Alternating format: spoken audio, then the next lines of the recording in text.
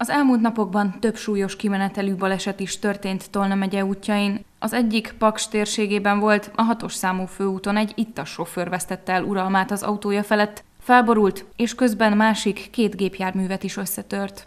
Várdom térségében két nap alatt két súlyos baleset is történt. Egy 18 éves váraljai fiatalember Bátaszék irányába közlekedett a településen, és ismeretlen körülmények között átért a menet irány szerinti baloldalra, ahol a vele szembe közlekedő 26 éves bátaszéki férfi autójának csapódott.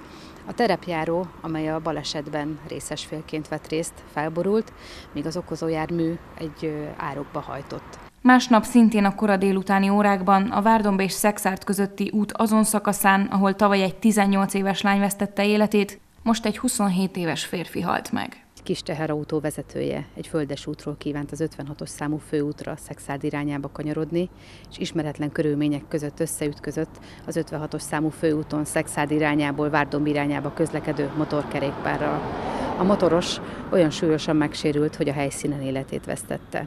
Az ütközést követően lerepült a motorjáról, és egy áróba csapódott. A rendőrség felhívja a közlekedők figyelmét, hogy tartsák be a sebességkorlátozást, és a nyári melegben fokozott óvatossággal és figyelemmel közlekedjenek, hogy mindenki hazaérhessen.